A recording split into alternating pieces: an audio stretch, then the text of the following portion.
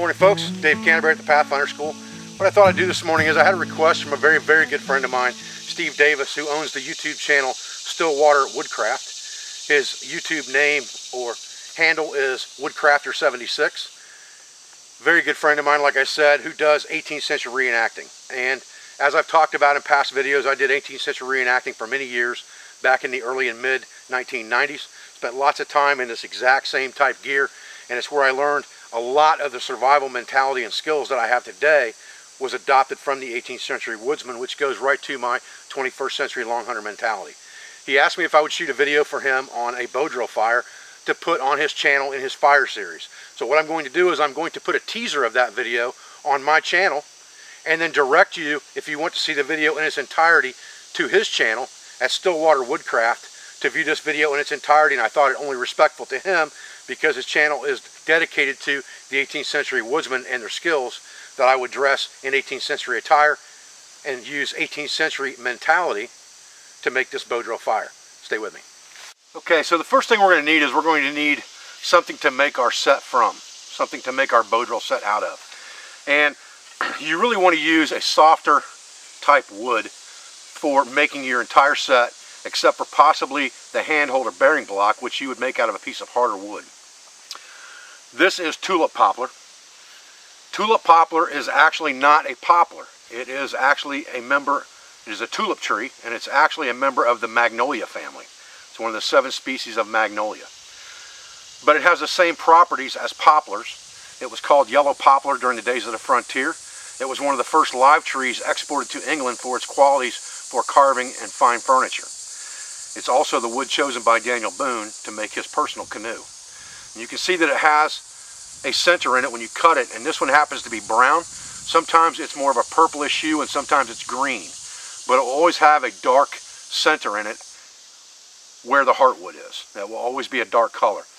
When I cut a piece of wood for this, I like to make sure that the heartwood is not too big because the heartwood is going to be the hardest portion of this piece of wood. So I want to be able to split this off and have enough heartwood left over, or enough sorry, enough sapwood left over on the outside that I can make my bow drill fire in that sapwood and not get into the heartwood unless I absolutely have to. So I've cut this off with a saw. Saws were very common in the 18th century, mostly frame type bucking saws. And I'm going to split this down now with my knife by batoning it. And then we will make our entire set, except for the bearing block, from this. And then we'll have to find cordage for our bow drill, and we'll talk about that when we get there. Okay, if we are batoning our piece of wood and it starts to get real stubborn, we're banging on the tip of our knife and all that good stuff, and we don't have an axe, we can always use a simple wedge and insert it into the top and pound it down with our baton to help us split that out, just like that. And you can see that's splitting that wide open. And that was just a simple piece of maple that I wedged on one side. It doesn't have to be a wedge wedge. It can just be like a chisel point. And I just pounded that piece of maple down inside that crack with my baton. Got my knife back, no harm, no foul. Got my wood split in half. Okay, so I've split a piece off of the half to give myself a piece of wood that starts out about three quarters of an inch thick and goes down to about a quarter. You can see that big wide heart in the middle of that. And I've got plenty of space out here that I don't have to drill into my heartwood. Now, what I really want to do is I want to see how dry this is, and I can usually tell that by the way it splits and cracks. But I also want to see how soft it is. So if I take my knife and I start to take shavings off of it, and it just cuts like butter, chances are it's going to be a pretty good thing for a bow drill set. I can also stick my thumb in into it and if my thumb nail leaves an imprint in the wood, it's probably going to be a pretty good candidate for a bow drill set. So those are easy ways that you can check to see if the wood that you're selecting is going to be good or not. It doesn't matter what species the wood is. This goes right back to understanding the properties of materials. It doesn't matter what species of wood it is. It matters what the density of the wood is. If I can put my nail into it, if it cuts nice and soft and smooth, it's going to be good for a bow drill set. So our fireboard doesn't have to be anything fancy. We're trying to make a bow drill fire. We're not trying for a beauty contest. Fashion is one thing, we want function. So I want a good straight side on one side of this, about three quarters to a half an inch thick. I want a good space here between the sapwood and the heartwood. And then I like to take and just cut a little bit of a chamfer on what's going to be the bottom of my board, just like this. And I'll explain to you why here in just a little while, but that's just like a quarter of an inch chamfer right there. Okay, so once I processed the other half of my wood down, I'm trying to find a spindle. So I want a piece that's about as big around as my thumb and about the span of my pinky finger to my thumb in length to start off with. This is going to give me that. It's got a nice piece of heart running right down through the middle of it. So when I carve that thing down, I'll have a nice heartwood type spindle. It'll have a lot of heartwood in it, so it's not going to burn up near as fast as the board. And that's really what I want. I want the majority of the friction or the material to be removed from the board, not the spindle. So we'll process this down into something about the size of my thumb by just carving it down. That's the only choice we've got. And then we'll get what we want and we'll get back with you.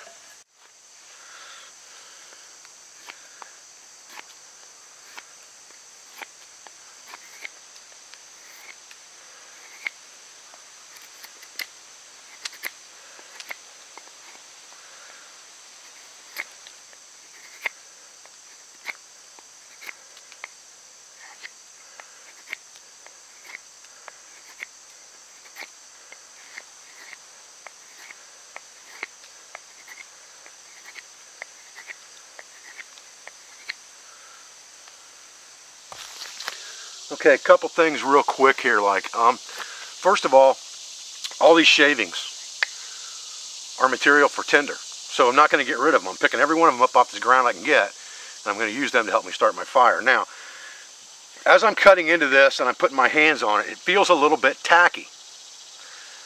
It's possible that this thing is still wet. I cut this off a down tree, but even if it's wet, we can possibly make it work, so I'm not going to give up on it just because it feels a little bit tacky. Now I've got it about the size or diameter that I want, about the size of my thumb. I need to prepare both ends of this spindle. And when I teach students how to do this, what I tell them is to visualize the pencil that you had in school. I want the end that's going to touch the fireboard or do the drilling to be about like a worn out eraser. Just rounded over and beveled like the eraser of a pencil. The other end, I want to look like my pencil. I want it fairly pointed, but worn down a little bit so that it creates the least amount of friction possible because I have the least amount of surface area by having a point on here touching that bearing block. Surface area is an important thing to understand. If I reduce friction area, or if I reduce surface area, I reduce friction.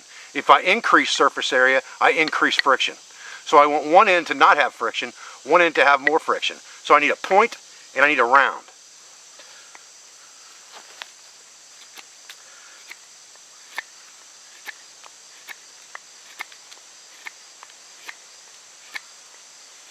I'm going to go down about two inches on this spindle to start to carve this point. And again, this is the part that's going to be in my bearing block, is this point.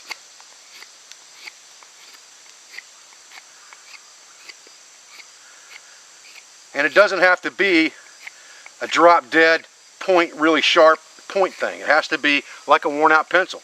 You're getting ready to go to the sharpener and hit it on the sharpener. And then I'll move up on the piece and just finally carve until I get a little bit of a worn out point on there. About like that's what I want to start out with. But I want to carve that point pretty far down.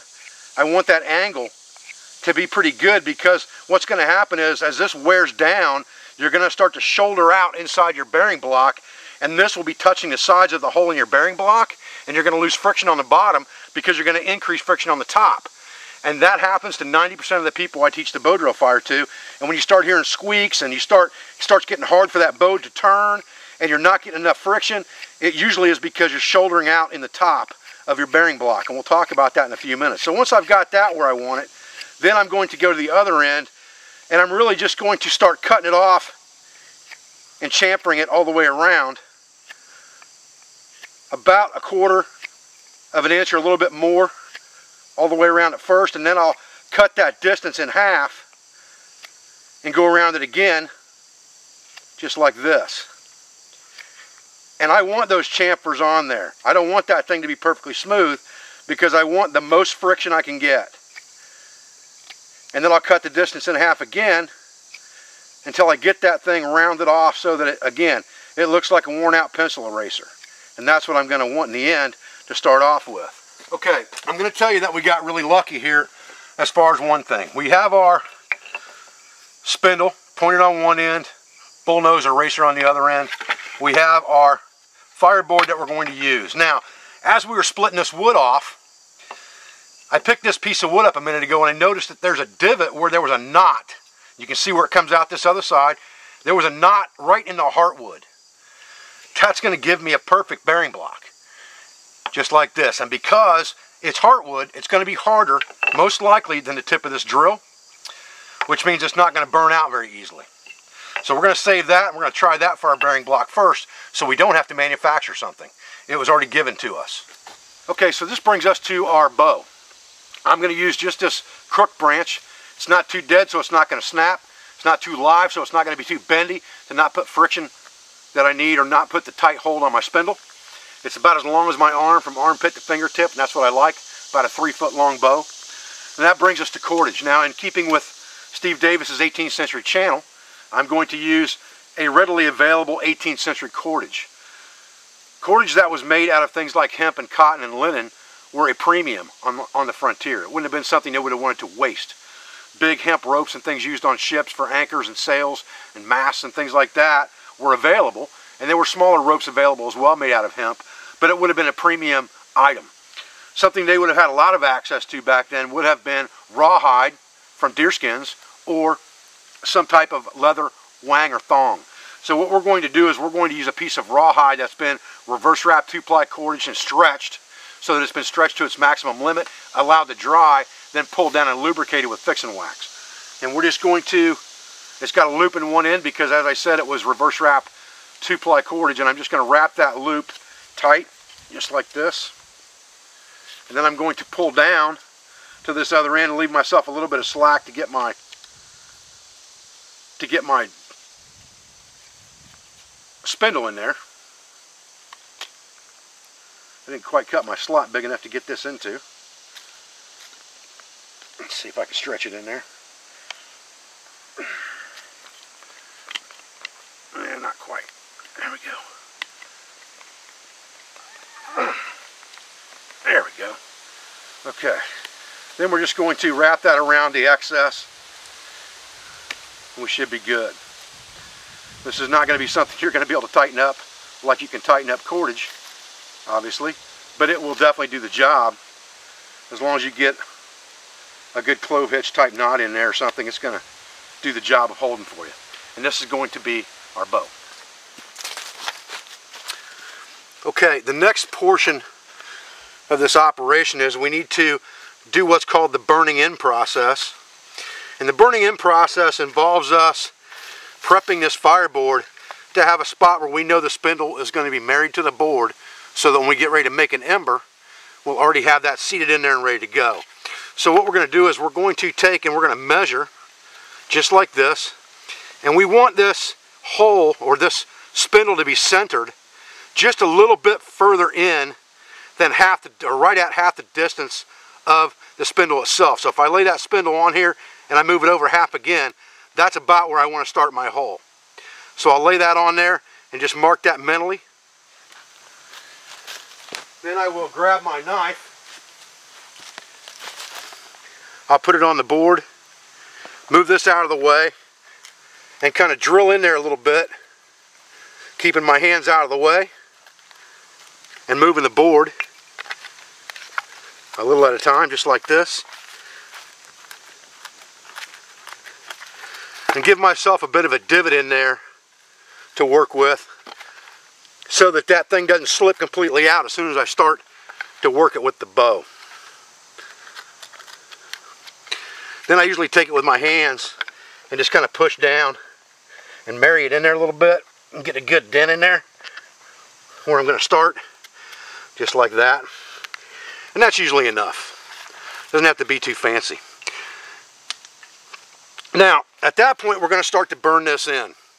And one thing that you're going to need to do is you're going to want to lube this bearing block hole. And what I use for that is fixing wax. This is the same fixing wax I use for patch lube, same fixing wax I use for leather dressing, same fixing wax I use for doing anything that I need to lubricate like this. And I'll just schmooze a bunch of it inside that hole and push it in there just like that. And fill up that gap with fixing wax. Okay, at this point we're ready to load our bow. So what I'll do is I'll take my spindle, I'll put the down end up and turn it over just like this and then force it in and I want it to be pretty tight. So that's going to be good but I want my bow to the outside just like this with the spindle on the inside riding inside like this. Now what I'm going to do is I'm going to turn this board around so you guys can see better what's going on. And I'm going to put my larger end straight down here. At that point, I'm going to put my foot pretty close to my spindle, but I don't want my spindle to be touching my foot because that's going to cause friction. Then I'm going to put that bearing block right on top, just like this. Then I will start to, as I get the sticker bush out from underneath my leg here, then I will start to move it slowly at first with downward pressure so that I can see that it's going to ride correctly. And if something's uncomfortable like that knot on my hand, I'm moving that right now.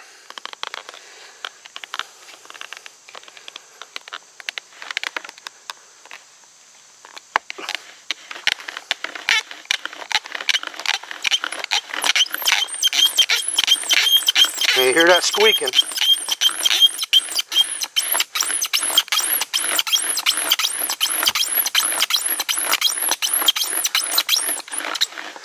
Okay, once we get smoke, we know that we are burning in. And we don't need to get overexcited about that burning in because we don't want to wear any more off of our spindle than we absolutely have to right off the bat or our board because it may take us a little while to get our ember. Now we need to create our notch. Okay, so we've cut our notch in here at about 30 degree angles. Not quite or just touching, the barely touching the edge of where we burned in. And the reason for that is as we drill in further, it's going to open that up and it's going to expand and it will be out here in the notch. There's no sense wasting our notch or wasting any material right now. The reason we had that chamfer on the bottom is so that we could let air in from the bottom. The other thing that we're going to do is we're going to take a slightly chamfer the bottom of this notch just like this on both sides which is shear cuts and that's going to let more oxygen in on the bottom and that's important now what we need is a bird nest and a fire lay okay this is what I would call the proper amount of material for a good fire lay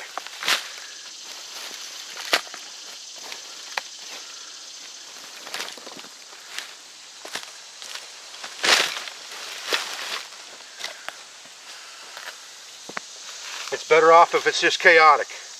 Your fire will probably take off a whole lot better that way. Get yourself a good spot to put your tinder bundle into that you can just move this over the top of it when you get flames in there and you'll be good. Keep yourself some bigger stuff off to the side that you can add when your flames get above the fuel. You'll be all set. Okay. Now let's process our bird nest. And I've got a big conglomeration of stuff here from the shavings we took off to pine needles to barks. Some of it has been torn up a little bit. Some of it hasn't been torn up at all. But remember, we want lots of material in this bird nest that is both fine, coarse, and medium so that we have lots of areas that are highly combustible. The more that we have, the better off we are as we're processing this stuff, just let it lay loose. If there's any dampness to it, it'll help dry it out that way.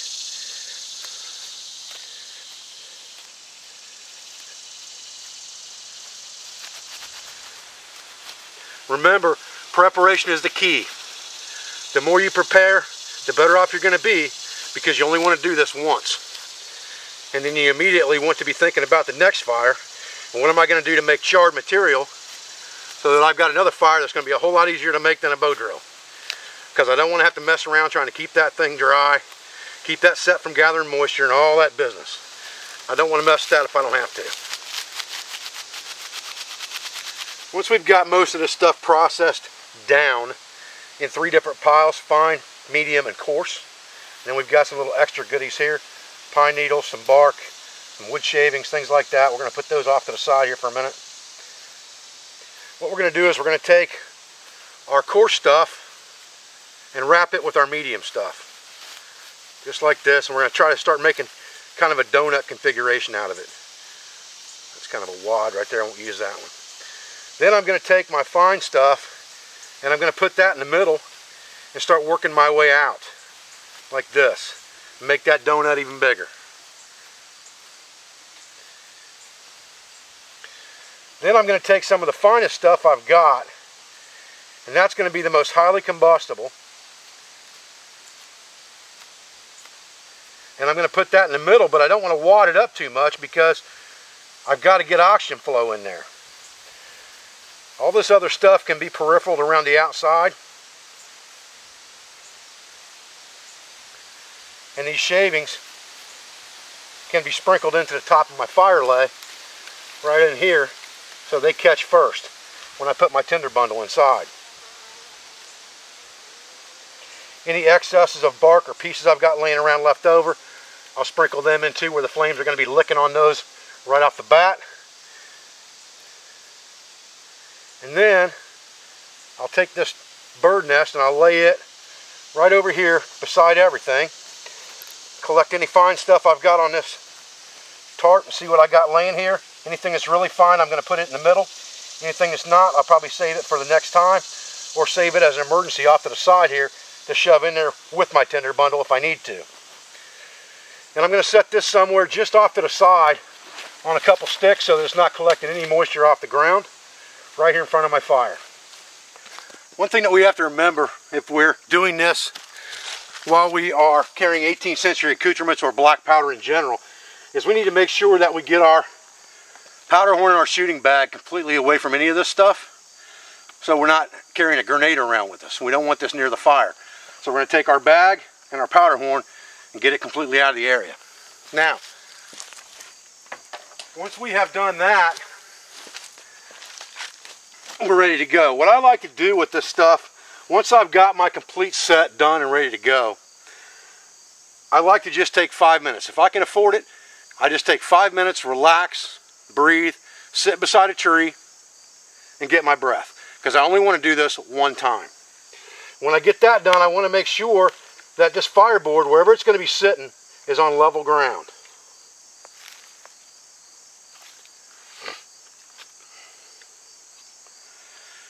Then I'm going to load my spindle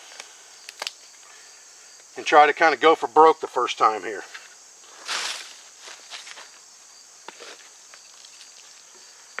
Posture and form are everything when it comes to a bow drill fire. Now I already can tell you I don't like this because I can already see this is going downhill. So we're going to stop and reposition ourselves.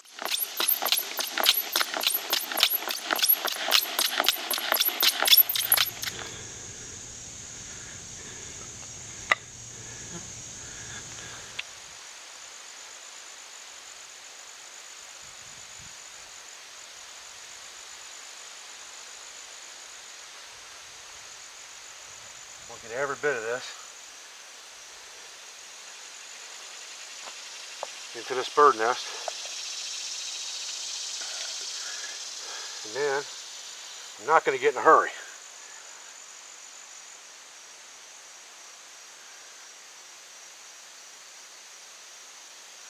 If I've got all my materials correct, I don't have to get in a hurry.